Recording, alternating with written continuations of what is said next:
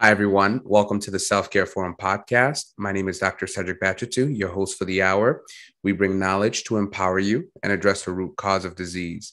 Our goal is to interest you in the care of the human frame, in diet, and in the cause and prevention of disease. Today, we're joined by none other than Dr. Tanya Paynter, a naturopathic doctor Uh, as a naturopathic doctor, she left the world of traditional medical care to create an online business and coaching platform for women struggling with chronic migraines. Dr. Paynter graduated from the University of Washington with a Bachelor of Science in Cellular and Molecular Biology and a minor in Inorganic Chemistry. She then went to med school, medical school at Bastyr University and received her doctorate in naturopathic medicine in 2012. After graduation, she entered into private practice from 2012 until 2021. Now she runs an online program to help women struggling with chronic migraine who are finding that conventional treatment approaches are not working well and who are looking for a way to heal their body and not just control their symptoms. This change of focus was prompted by her own struggle with chronic headaches and migraines and the amazing changes uh, she discovered around treating migraines with a whole body integrated approach. Dr. Tanya Paynter, I want to thank you for joining us here on the Self Care Forum podcast. Thank you for having me. Yes, thank you for joining us. Uh, I like to start every uh, interview by asking our guest, and I'll do the same with you, uh, to elaborate a little bit on what inspired you uh, to pursue this journey to becoming a naturopathic uh, doctor. Yeah, it all started back in fourth grade uh, when I first had my first health class, and I just fell in love with how the body worked. And I knew back then that I wanted to be a doctor. Um, so fast forward to high school, you're figuring out where you're going to apply, uh, or I should say, actually, post post high school. Um, you know, after when I was going to apply to to medical school, um, I I heard this weird thing called naturopathic medicine and it sounded very intriguing. And so I looked into it a little bit and it was just right up my alley. Um, really, you know, less about medications and treating symptoms and more about trying to figure out what's going on in the body mm-hmm. um, using the biochemistry that we know about, you know, how our hormones are working and how diet is affecting us and nutrient pathways and all kinds of of things. And um, that really that really struck a chord with me. And that was the kind of medicine that i wanted to practice. So um, so i chose to go a naturopathic medicine route and um, i couldn't be happier. I absolutely love what i do. And you also mentioned that um, your own personal experience is what led you to focus specifically on migraines. Can you elaborate on that please yeah. So when I was uh, 16, I was rear ended in a car accident, and that kind of started my journey. Um, I started getting, you know, fairly frequent headaches at that point, um, and they gradually became more intense and um, kind of progressed into migraines. And um, to the point where when I was going through, um, you know, college, I was basically having daily headaches, and then they would flare into migraines, usually by the end of the day after I'd been sitting in class for, you know, four or five hours. And um, so I struggled with that for a good decade, um, probably a little bit longer than that. And then I went to medical school and uh, I started to kind of apply what I was learning in classes to myself. I kind of consider myself my first patient and really started understanding how my diet and my stress and my stress management or lack thereof um, and my sleep and hormones and all of it was playing a, a piece of a bigger picture and for me it was manifesting as those daily headaches I started getting better. And um, by the end of medical school, I actually left medical school feeling 50 years younger than I did when I entered it. Um, and I felt like I had my life back and I was able to actually go into practice and not feel miserable. And it was just amazing. And so when I was in primary care and you know patients with headaches would come in as a major complaint or even a side complaint that like I loved treating people with headaches because I knew exactly how to help them figure out what was going on and then fix that problem. Mm-hmm. And um, and I was always very effective at it because it was something I had studied very intently for personal reasons. And that just kind of led me down the path of feeling called to um, go more specifically to women with migraines uh, because you know the the statistics show 40% of women with chronic migraines and and I I always quote women because I that's kind of my area of specialty is is women. Sure. Um, but um, you know 40% of women with chronic migraines they don't respond to medication. And so then if they don't respond well to meds like what's left for them? And um, so then i developed the program that i i'm doing now um, with some very very good results. So. Thank you for sharing that. And before we dive into that and I, I especially want to discuss a little bit about why migraine tends to be more prevalent in women than men but before we dive into that uh, for those who may not fully understand what a migraine is, can you elaborate on the differences between migraines and headaches? Because I'm sure we've all experienced headaches, but most of us probably haven't experienced a migraine, fortunately. So, what are some differences between a typical headache, which is the pain in your head, and what we consider a migraine? Yeah, that's a great question. Um, and there's actually even uh, doctors get, you know, miss the diagnosis often. So I think mm-hmm. it's really a really important question. So uh, the the actual diagnostic um, criteria for a migraine is that you have um, at least five headache attacks that last between four to 72 hours. Um, they are usually not well treated. Like you can't just take uh, an Advil or something for it and have it go away. Mm-hmm. Um, and then they they also have to have some accompanying symptoms so they have to be either on just one side of the head or uh, like a pulsating quality um, severe like severe debilitating pain um, uh, avoidant you know uh, aggravated by you know smells sounds lights uh, activity things like that and then usually accompanied by um, either issues with um, nausea vomiting um, you know, activity levels, uh, walking, climbing stairs will aggravate it. Um, so those are some of the, the diagnostic criteria. And it can come with or without aura, which um, basically is just kind of some neurological visual disturbances. Mm-hmm. Um, that's not diagnostic of migraine. They're considered kind of two separate um, categories, if you will, of migraine with or without aura. Um, and so, but it, it's, it's, basically the easy way of thinking about it is if it's just a headache and your head hurts it's probably just a headache.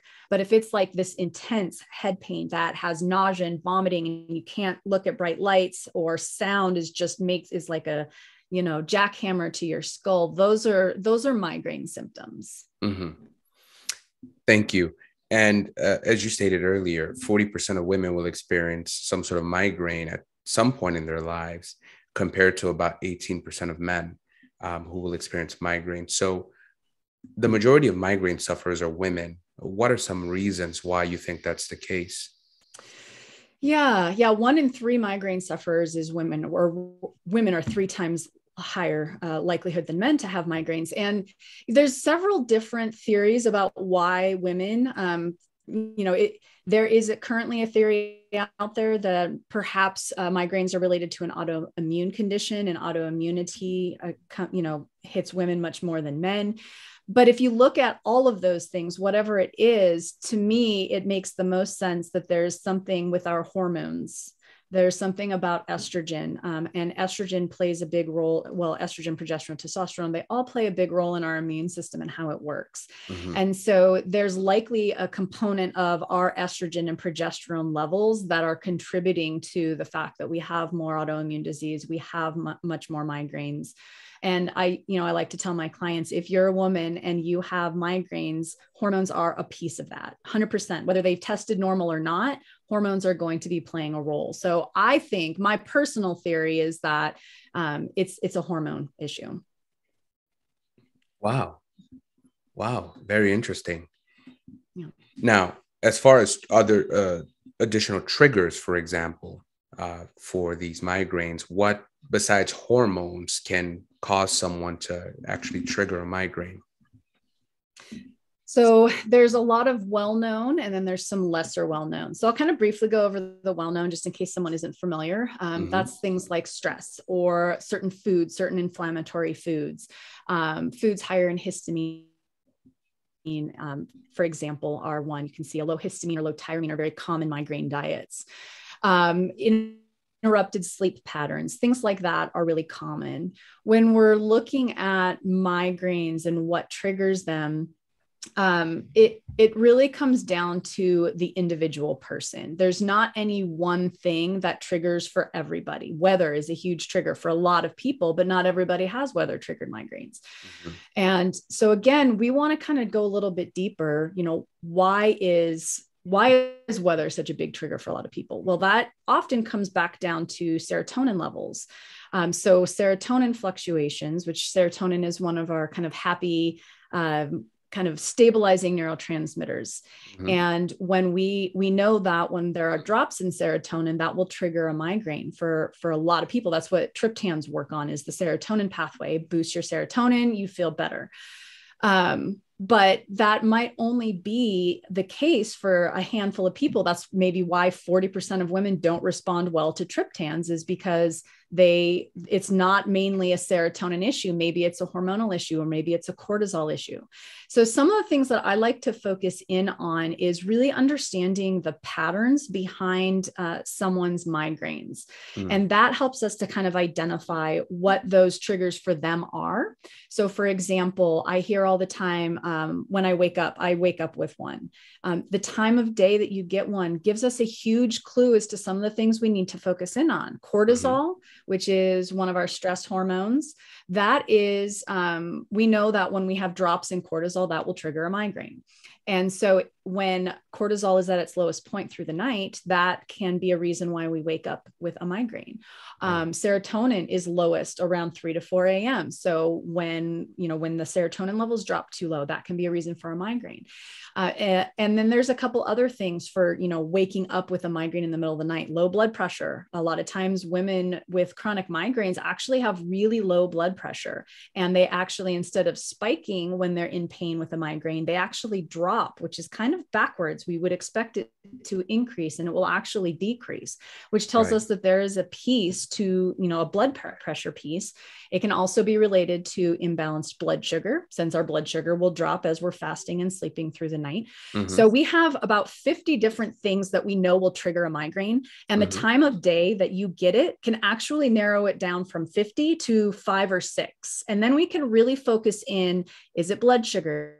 Is it blood pressure? Is it the cortisol? Is it serotonin? Let's take a look at some of the other things going along with those migraines to narrow it down even further. And then we know where to start pinpointing our either targeted um, lab work to measure levels of our neurotransmitters or our hormones or you know what have you so that's kind of the systematic way that we kind of come back to figuring out what that problem is for a particular person and it's work right it and it, it takes investigation it takes figuring out where you know those patterns that you're seeing um, mm-hmm. and then figuring out what that means. And that can be why it can be so tricky to figure out is because there's a lot of time investment both on the doctor and the patient's part. And unfortunately the way our current medical system is set up we don't have 45 minutes or an hour to sit down and go over all these different things with our patients. Like it's right you, this is your problem here's your medication like i hope you feel better you know let me know how it goes you know what i mean yeah yes so that's yeah. one of the reasons why i love being able to work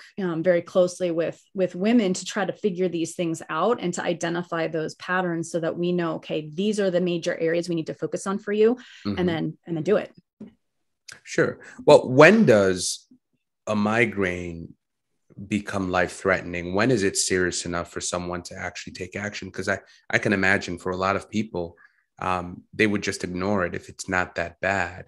But when would you advise someone who experiences migraines, maybe not frequently, maybe infrequently, but when would you, at which point would you advise them to go and see a doctor or maybe even go and see, come and see you? Well, you know, the if it's an infrequent thing or if it's a new first time uh, migraine um, and you don't know what's going on and you have this intense severe pain like you should absolutely go into the ER because there are it might not be just a simple migraine. It could be the start of a stroke or you know some other major event that's happening. So if if you have a new headache um, something that is just starting you've never experienced before immediate follow-up with care is very appropriate to make sure there's not something else going on that needs to be taken care of mm-hmm. if it's something where someone has had migraines for a long time it's less a matter of being life threatening if they've been diagnosed they have medications for it they know what to do when it happens then it's more of how often is it you know how much impact is it having in their day-to-day life? And the women that i work with they tend to basically not have a life anymore. They feel so badly all the time or they never know when it's going to hit that they no longer make plans. They just kind of do their thing in their house. If they are lucky enough to still have a job, they go to work, they come home, and that's about all they'll do because they don't want to do anything that's going to trigger another migraine for them. Mm-hmm. And that to me, that quality of life is very, very low at that point. You stop socializing. A lot of times it will, you know, interfere with relationships and family. Um, so that's the point where you know most people hopefully before it gets to that point they're seeking help but um, definitely that's when it's going to be important for them to to know that there's some other options out there if just medications aren't working for them. Well that's good to know um, because i can imagine for most people who are experiencing migraines they would likely go to a neurologist. And what's fairly common is you know giving them triptans, uh, such as Imitrex and some of these other medications that will uh, usually deal with the blood flow and everything. Um, so, what is actually happening, according to you? What is actually, and your understanding, what is actually happening in the brain uh, during a migraine? Is there something? Uh, because it, it sounded to me like there are many different causes, such as blood sugar, um, blood pressure, the time of the day. So, how would you how would you explain to, to, to the audience what's actually happening during the migraine as you understand? Yeah. So, you know, uh, again, we know some of the things that go along. There, there is um, a lot of, in a lot of cases, we see the blood vessels of the brain getting bigger. It's called vasodilation that happens. That mm-hmm. puts increased pressure in the brain and that can cause pain. Um, so we know that that's usually uh, a part of it. However, triptans help to cause vasoconstriction, and we know that not everybody responds well to triptans and, and that vasoconstriction piece. So it's not yeah. always that. Um, there is a kind of a hyperactivity of the pain pathways that happen in somebody with migraines. And so, what ends up happening is, however, that pain is triggered for them, um, then that's when we we kind of see that that migraine piece happening and so when we're looking at you know it, it, i think of migraines very similarly to something like um, you know regional pain syndrome or you know some of those other kind of unexplained neurological um, nerve pain hypersensitivities and it's they're all kind of in that same realm of really understanding how somebody's um, hypersensitivity to pain or to stimulus can transfer into pain. Uh, and even something as simple as, um, for example, there is uh, an eye misalignment in about 20% of people with migraines. It will help if they get that eye misalignment taken care of and this is um, this is fairly new uh, within new technology within the last couple of years mm-hmm. and um, they use prism lenses to help kind of redirect where the eye focuses well interestingly in these in this 20% of people um, it's the strain on the muscles around the eye that then is triggering this hypersensitivity, uh, this pain pathway in the trigeminal nerve, which is the main nerve responsible for pain and sensation in our face.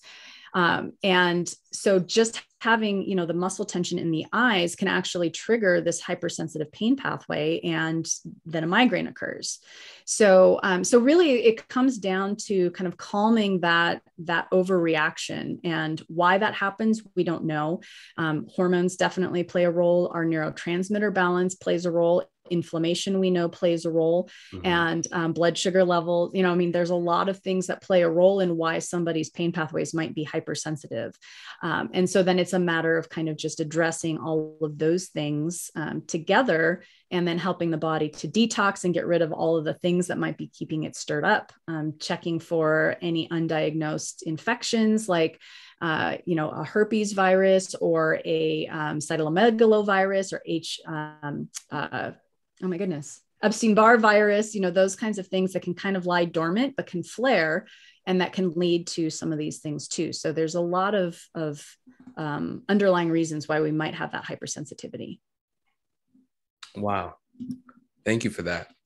In your online practice, or in your practice rather, what happens when someone sees you, when someone comes to see you? What is your approach to getting to know them? Because, as you stated, you know, the conventional medical system gives you about 12, between 12 to 15 minutes to see a doctor.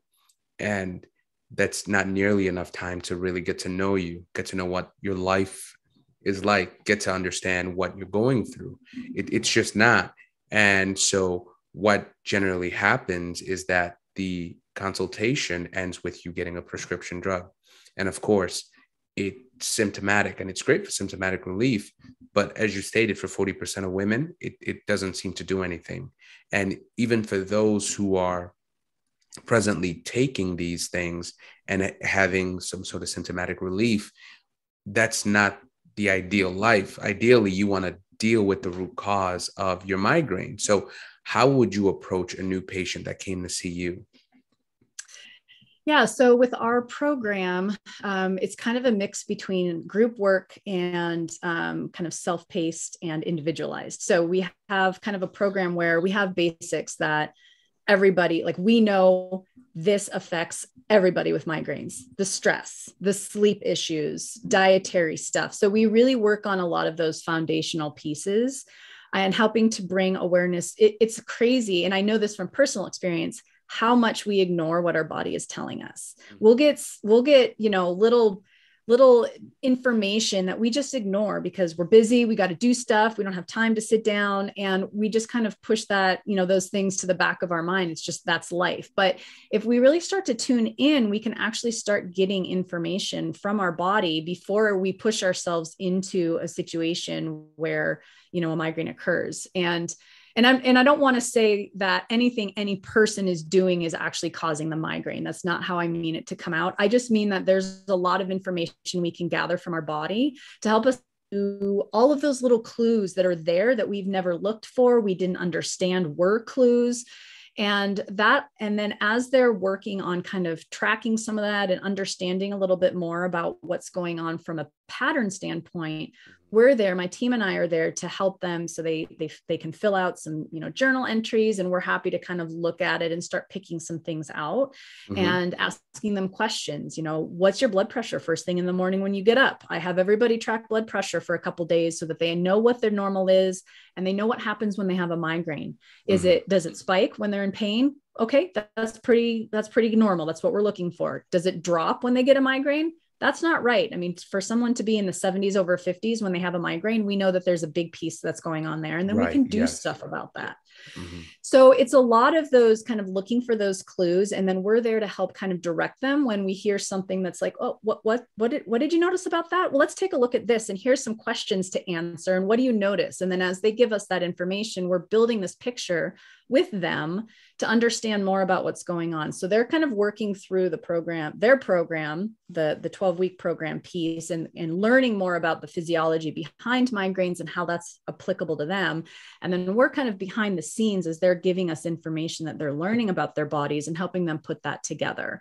And so that's how we're able to work together to really you know get a good idea for each individual client that comes through of what's going on for them. And then of course we've got resources to help them and all kinds of different herbal options. We've got medication options that while we can't prescribe since you know this is a nationwide um, course and we're only licensed in the state of washington so we but we can certainly give them um, options for medications that might work for them. Mm-hmm. but there's also too a lot of herbs that could work based on what we figure out is going on for their particular situation um, so we're able to utilize kind of all the tools that we have available as long as they have a doctor at home that's willing to kind of help help out as well. So, and this is what you can see, this is what you call your whole body uh, approach to mm-hmm. migraine, correct?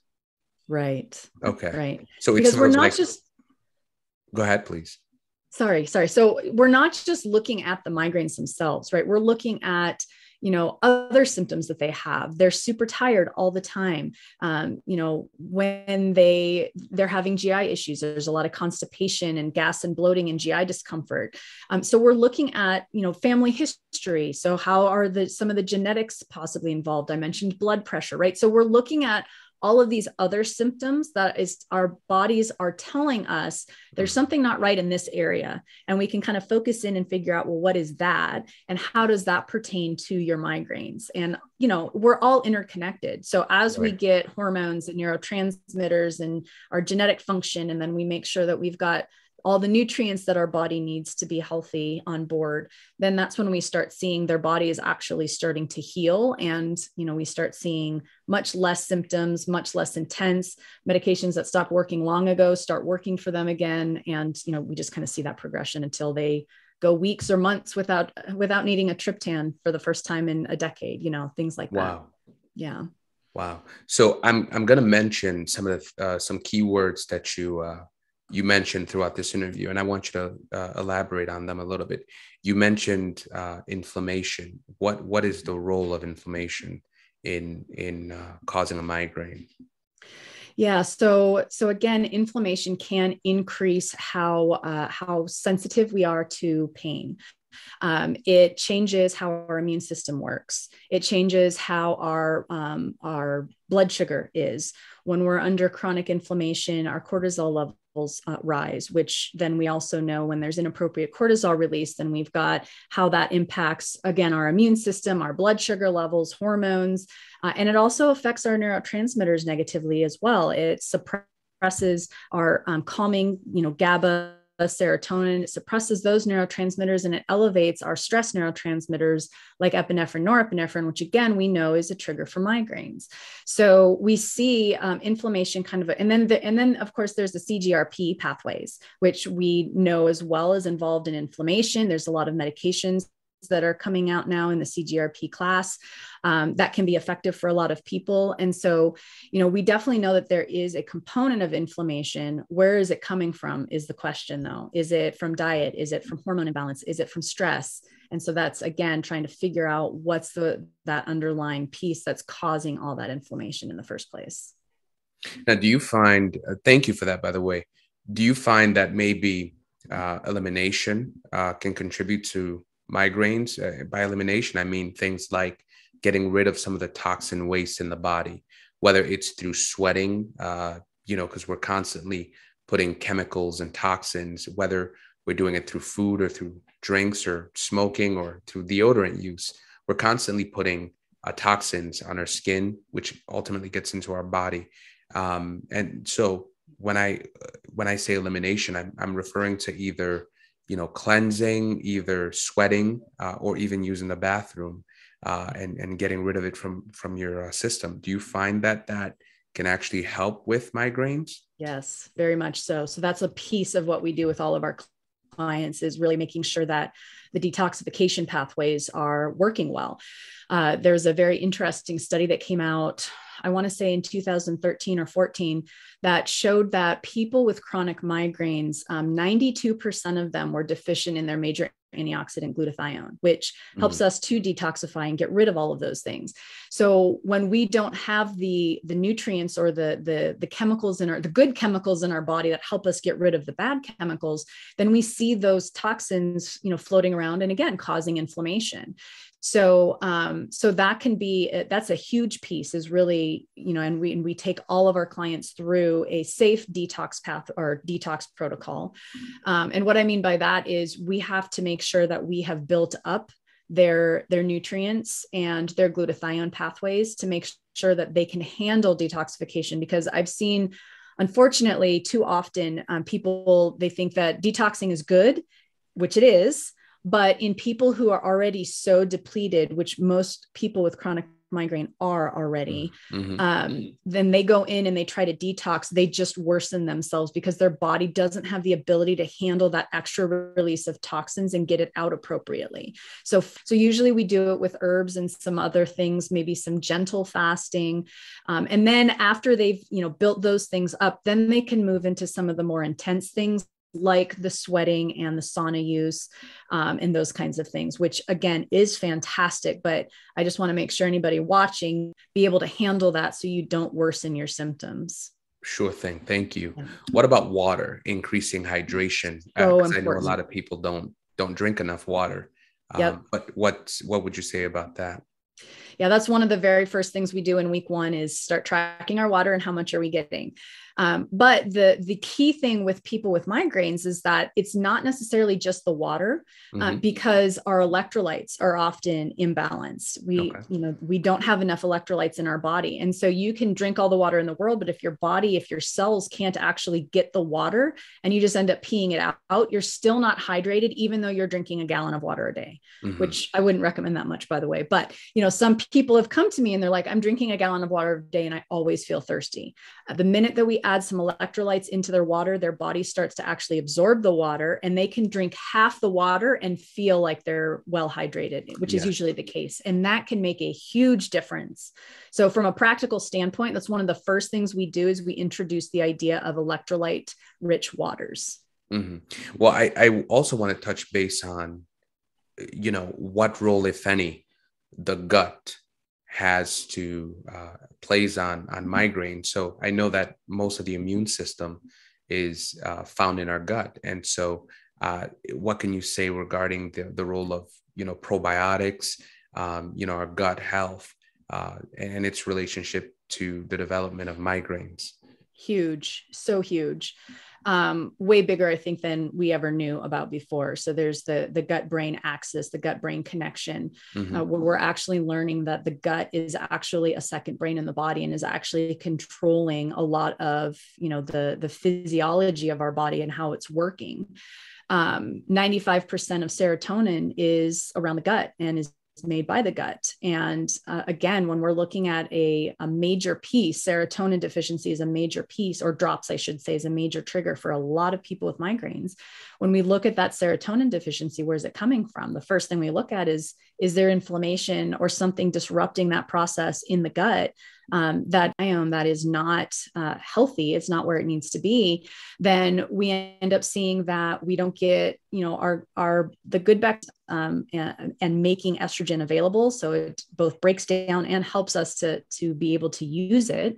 Um, and so there's antibiotics in not only in medicine but in our food and we're exposed to it in a lot of different places um, roundup and things like that that role for sure. And so you know again it it's it's a very key piece that we look at addressing is what's your gut health like you know across the board. Everybody goes through a kind of an evaluation a self evaluation how's their gut functioning? Are they going to the bathroom as often as they should? Is it easy to pass? Um, and then you know not only that but then how do they feel after they eat? Does food just sit in their stomach um, if they're not ever hungry, that can be another sign that there's some things not going on well. Mm-hmm. And um, and then we kind of look at you know not only digestion but then also how our body is able to turn our digestion on so everybody's heard of fight or flight mm-hmm. and then there's also rest and digest and um, we get stuck in fight or flight and people with chronic migraines tend to be stuck in that fight or flight mode and we don't digest well when we're in that mode sure. we need to learn how to turn on our parasympathetic system our rest and digest system in order for us to be able to properly digest our food mm-hmm. which if we don't have properly digested food. We're not absorbing the nutrients that we need to stay healthy. And that also causes you know undigested food particles also cause inflammation in the gut based on the the other bacteria that's in there that is breaking things down inappropriately and causing gas and discomfort and cramping and all that other kinds of stuff. So it, it plays a huge role in in neurology or in our our migraines for sure. Wow. And so in in your experience is there a particular diet um, that has proven to be most helpful um, you know for those suffering from migraine? Yeah that's that's a really really great question. Um, and i'm glad that you brought it up because there's a couple things that i really like to talk about diet um, one is yes, generally speaking, we want to see a whole foods anti-inflammatory diet. Doesn't mean it has to be anti or low histamine or low tyramine, anything like that. Sometimes that can be helpful for certain people, but just across the board, we want a whole foods diet, which basically means very very little if any processed foods like mm-hmm. your food should look like how it looks like in nature right um, n- not in the yes. form of crackers, but in the form of the grains that you then make yourself, right? And of course, it's you know you got to balance time and you know the ability to eat but um, we definitely want to make sure that we're we're doing that we're avoiding a lot of the foods that we know are triggers for migraines. So dairy and gluten are two of the biggies that are there's there's some research suggestion suggesting that those two are actually problematic, and a lot of people do really well in eliminating those. Mm-hmm. Um, but then there are some other inflammatory foods corn for example. Um, uh, the last time i saw a study on even organic corn 100% of it was contaminated with gmo so yeah. our corn source yeah and same with soy. So corn and soy now are not awesome food options for people just in general, but especially for people with a chronic illness. Mm-hmm. Um, you know, and then we look at some other things that can be potentially inflammatory. Um, you know, we want to make sure it's grass-fed, free-range meats and and eggs and things like that. Eggs can be problematic for some people, so we just kind of look at doing kind of a slow. Um, I don't like to call it an elimination diet. I like to call it a, a, a diet switch where we're switching away from gluten grains and we're going towards the non-gluten grains um, and and working on that piece. But one of the things that I really find um, extremely important to talk about um, with people with migraines is you identify a food that you think triggers or you know triggers you, and you eliminate it. And I end up seeing that happening as you're kind of moving through life and you're figuring out, oh, well, bananas seem like they're triggering me. And then whenever I eat beans, I feel like I get a migraine. And then I can't eat, you know, peppers. And suddenly I'm talking to somebody who feels like they get a migraine if they eat anything besides chicken and rice. and when we're eating wow. such a restricted diet, we're not getting the nutrients that our body needs to be healthy and in balance. So right. we're still, and that's where we end up seeing the slow progression of eliminate, eliminate, eliminate, eliminate. And suddenly now we're malnourished and we still don't feel very good, even though, you know what I'm saying? So it can yes, be really yes. tricky. So the key is to make sure that you are getting enough nutrients from your diet. And if you can't do it with diet, then supplemental in the short term, supplements can be helpful. But we really want to work on healing the gut up so that you can reintroduce those foods. And we can actually successfully reintroduce. I'm, I'm a perfect example of that. I went on a fairly strict I did the the autoimmune protocol diet, so mm-hmm. it was all grain, you know, grain free, um, you know, very anti-inflammatory, but pretty restrictive. And because eh, all of those things would trigger me. And now I can eat tomatoes and tomato sauce and, and I can have a little bit of gluten every now and then, and I can eat dairy almost daily and not have any problems because I really worked on healing up my gut. So we can reintroduce those foods that used to be major triggers. Mm-hmm. Um, but we have to do the work of actual healing the gut and not just the elimination part. That's where people stop and they stop too soon. Thank you for enlightening us. Thank you so much for that. Um, what about the role of uh, physical activity, exercise? Because I know uh, millions of Americans live a uh, largely sedentary lives, um, considering we spend a lot of time sitting down on our couch at home or sitting at our desk at work or sitting in school for those of us that are still young. And so, uh, you know, this sedentary lifestyle is almost, uh, from what I last read, it's actually um, they'll likely consider it a chronic disease itself because of the effects, the negative effects it has on the body. Uh, what's the importance of physical exercise for someone suffering migraine? It's it's really important, um, but that it's kind of a, a catch catch twenty two, right? Because a lot of people when they exercise it can trigger a migraine for them. And so then they become scared of exercise. So exercise doesn't have to mean you're lifting, you know, 50 pound weights and you're running a mile a day. Mm-hmm. Exercise can literally mean you go for a leisurely stroll outside in the sunshine for 30 minutes. Sure. Um, or if you can't handle sunshine, then you go out during the rainy season, you know, whatever. But you just want to get ideally outside. Um, there is a lot of research that shows that uh, time in nature, time outside, even if you live in the middle of a city, still time outside is better better than time indoors. Mm-hmm. Uh, and the sunshine on our skin and just getting some fresh air can actually uh, really change. Our, it lowers our cortisol levels. It um, helps to boost our serotonin and GABA levels. It helps to reduce epinephrine, norepinephrine levels, which are our stress neurotransmitters. Um, and all those have a very positive effect on inflammation and hormone balance and sleep. Um, and the movement itself is just very very important for blood flow, for detoxification, for elimination from a GI standpoint. Uh, all of those, like our body relies on movement to help with our circulation and detoxification. And so when we're just sitting there, um, our veins don't have any, it, it doesn't they have valves there that that only work. It helps to pump when we move our muscles. Our muscles are actually our pumps for our our veins to move our blood. And so if we're not moving then all that blood is just sitting there and kind of very sluggishly moving forward. Mm-hmm. so we want to get up and, and move that around so our circulation is improved. Our cells are getting the nutrients that they need delivered.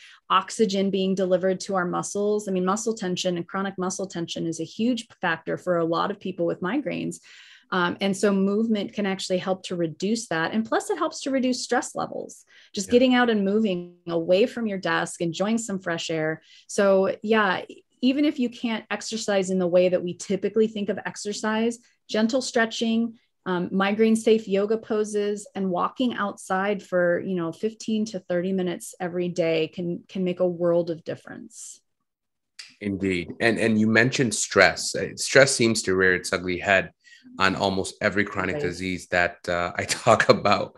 And so, what can you tell us with regards to the impact stress has on triggering migraines? So, this is where I like to kind of come back to the biochemistry a little bit more mm-hmm. and looking at okay, so great. What does stress mean? What releases cortisol, which is one of our it's it's a I, it's a fight or flight um, hormone, right? It helps us mm-hmm. to become much more alert, but we also get a healthy dose of it first thing in the morning to help us wake up. Well, a lot of women that I see um, with chronic migraines, their cortisol level is kind of flatlined. It's low, normal, or frankly low um, through the day. They don't have that nice spike in the morning, and then it, it, you know, it slowly kind of tapers off through the rest of the day. And so that can be problematic because when we're under chronic stress and our body no longer has the ability to put cortisol out appropriately, then we end up seeing that that lack of cortisol, since we know cortisol drops will trigger a migraine, it's well studied. Um, if we don't even have any my any enough cortisol just to be a normal baseline level, then we end up seeing that contributes to that migraine picture. And I've actually had several women that we've actually had to prescribe some low dose hydrocortisone, which is a type of steroid, um, but very low dose, sub physiologic levels. Um, and just that little bit of medication overnight took their migraines away, daily migraines to none at all for months on end. And it was just the lack of cortisol that they had because they lived a life of chronic stress up to the point that they got sick. And then they didn't even have enough oomph to just feel good, just in general. So that's one piece. Um, and when we look at a migraine, that's kind of the letdown migraine. So when you know your migraines start towards the end of the day at work, or when you get home and you are finally able to relax, and that's when the migraine hits, we know okay, your cortisol levels have been too high during the day because of stress. And then when you get home and you're able to just relax, that's when it hits you because your cortisol is dropping. Mm-hmm. So really being aware of physiologically how that that cortisol is playing a role is very key in helping to manage migraines, especially you know given the time of day, can really point where in that in that uh, cortisol cycle is there a problem. The other really big piece about stress and migraines is um, our epinephrine norepinephrine. So these are our catecholamine neurotransmitters. Mm-hmm. And we also know that sudden elevations or sudden withdrawals of that, uh, that those neurotransmitters can also trigger a migraine. So we can see this when, you know, you get into a fight with your, your husband or wife and almost immediately you feel a migraine coming on, that's most likely a result of this epinephrine norepinephrine spiking. So, again, that acute situation where migraine hits immediately during a stressful event. Um, then we know okay we've got an issue with how your body is able to you know put this out and process it so then not only do we have to avoid those situations or work on calming our bodies you know sudden fight or flight response but we also need to help support those pathways so it's a little bit more balanced and there's a lot of things that we can do from genetics to you know some of the neurotransmitters some um, some of the um, nutrients that we can do to support how our body kind of keeps it around or you know breaks it down. Um, so there's things that we can do to help balance that as well. But again it all comes back to stress and and being exposed to chronic stress and acute stress and how our body behaves as a result of that. Very enlightening. Thank you so much dr Paynter um, for those of us who are new to your methods, the migraine mastery method, how can we get in touch with you um, and certainly uh, and and possibly enroll in this 12 week program? So the um, you can find more information at migrainemastery.org. I also have uh, a free Facebook group called Migraine Mastery and my um, and my migraine support group. And I also have a YouTube channel called Migraine Mastery and Migraine Free Life. So, um, and that just, I get on and do 10 to 15 minute videos on some of these things that we've talked about. Uh, we didn't really touch too much on the hormonal piece, but there's a lot uh, on there uh, about hormones and such. So, um, so that that's all ways that you can get some really good uh, information from kind of this whole body approach. And then um, I also have a kind of a mini ebook about the, I call it the five things every chronic migraineur should know. And these are the things from hormones to thyroid to, you know, getting proper labs requested. Um, you know, all the things that you should really take a very close look at when you're first kind of on this migraine journey to help you kind of hone in on some of the things that might be going on for you. And I'm happy to offer that to your to your audience as well. Thank you so much. And we're going to make sure we include the links to all of your social media uh, uh, platform, chan- social media channels, as well as the uh, ebook. Uh, so anybody who watches this interview will have access to those things. And so I want to thank you so much for taking the time out of your busy day and joining us today. Um, I truly enjoyed this interview. Um, even as a healthcare professional, it's always a pleasure to hear uh, a different perspective uh, than what we've typically been told because I have relatives that um, as you mentioned, that have suffered with migraines for years. And, uh, you know, taking the triptans, again, it's symptomatic relief, but it, it never quite addresses the root cause of their symptoms. So I will be sharing uh, your information with them. And, um, you know, as far as your program and everything, I'll certainly be uh, sharing that information with them. So uh, do you have any last words? No, I just uh, I always like to to end my last words are, are always if you're watching and or listening and you struggle with chronic migraines and you feel like you're at the end of your rope, there is actually stuff that you can still do. Um, it's it's not just you've tried all the medications and the gadgets. There's actually right. you know ways that we can approach and figure out for you specifically what's going on. So I just like to end with a little note of hope there because I know how hopeless that journey can feel. I've I've been there. Thank you so much, Dr. Tanya Paynter. Listen to the audio version of the Self Care Forum podcast on Spotify, Apple, and Google Podcast.